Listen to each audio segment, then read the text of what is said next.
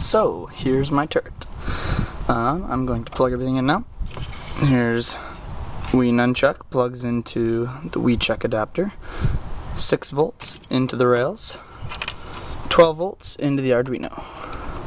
Oop.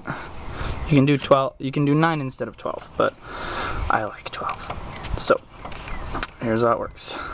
Left on the joystick, left right controls our left right servo, deep down in there. Up down controls this little medium servo here.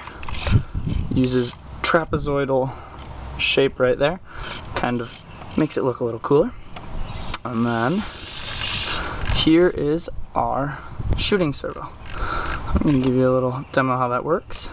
Rotates backwards, rotates forward, and here's this. Do, do, do, do. Do, do, do, do, deer.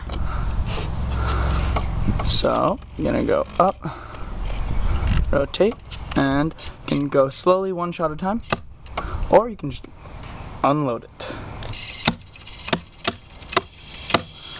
Yeah!